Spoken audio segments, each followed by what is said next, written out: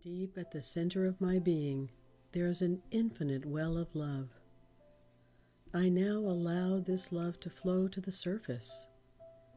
It fills my heart, my body, my mind, my consciousness, my very being, and radiates out from me in all directions and returns to me multiplied. The more love I use and give, the more I have to give. The supply is endless. The use of love makes me feel good. It is an expression of my inner joy. I love myself, therefore, I take loving care of my body. I lovingly feed it nourishing food and beverages. I lovingly groom it and dress it, and my body lovingly responds to me with vibrant health and energy. I love myself.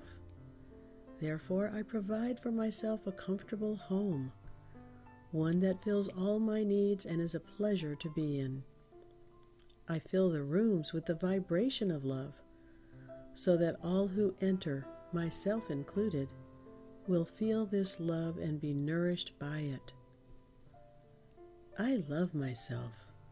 Therefore, I work at a job that I truly enjoy doing one that uses my creative talents and abilities, working with and for people that I love and love me, and earning a good income.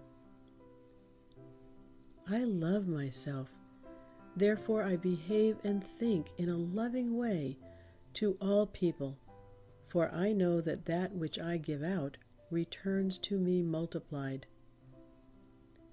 I only attract loving people in my world for they are a mirror of what I am. I love myself.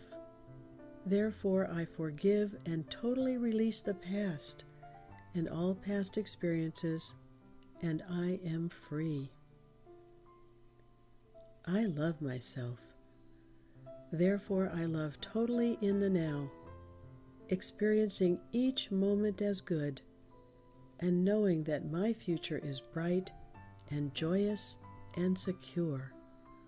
For I am a beloved child of the universe, and the universe lovingly takes care of me now and forevermore. And so it is.